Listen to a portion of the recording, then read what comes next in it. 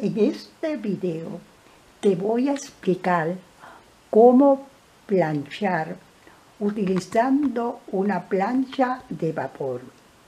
Utilizar una plancha de vapor es muy fácil y facilita el planchado.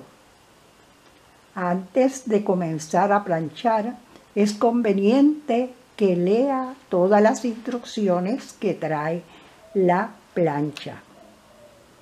Las planchas tienen un selector de calor. Este, esta tiene el selector de calor aquí. Y esta otra tiene el selector de calor acá. Para mostrarles dónde está. Esta lo tiene aquí. Tiene un depósito de agua un tanque para echarle el agua. El agua se le echa por este huequito que está aquí y a esta también se le echa por un huequito que tiene aquí. Es conveniente no llenar los depósitos de agua hasta el tope, o sea que el agua no se derrame, que no se salga. Antes de comenzar a planchar, verifica que la plancha está limpia. A verificar que la plancha está limpia que el área donde vas a planchar está limpio también. O sea, que el área la tabla de planchar o la mesa donde vas a planchar, que esté limpia y esté lisa. Comencemos a planchar. Llenamos el tanque de agua, no lo llenamos hasta arriba para que no se desborde seleccionamos el calor en el selector de calor. Este selector tiene los números del 1 al 6. El 6 es el calor máximo y el 1 es el calor mínimo que se va a seleccionar.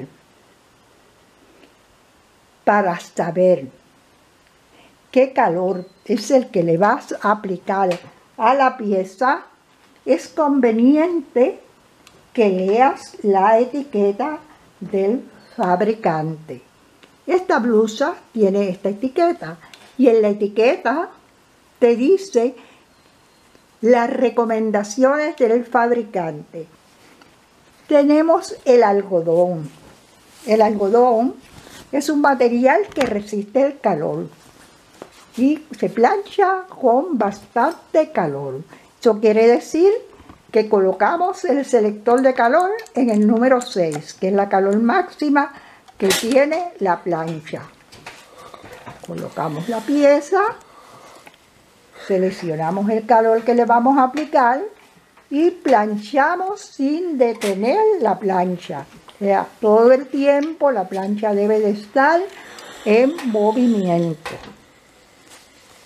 También tenemos la estopilla. La estopilla es una tela bien difícil para planchar porque se arruga con gran facilidad.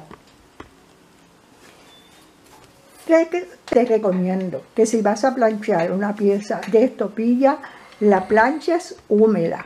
No la dejes que se seque para facilitar el planchado. Ahora vamos a planchar una pieza de rayón. Para planchar el rayón se recomienda que se utilice un pedazo de tela algodón encima o un papel. Yo conseguí este papel de estraza que siempre lo uso cuando plancho el rayón o plancho telas que cojan brillo y se lo coloco encima y así pantalón queda planchado, o la pieza queda bien planchadita y no coge brillo. Para planchar telas que son bordadas a manos, se recomienda utilizar una toalla encima de la mesa o de la tabla de planchar y colocar la pieza encima de la toalla, como le estoy demostrando, lo me coloqué la pieza encima de la toalla y voy a planchar por el lado al revés. El propósito de yo planchar el bordado por el lado al revés es que el bordado queda más bonito y sobresale al plancharlo. Si vas a planchar seda,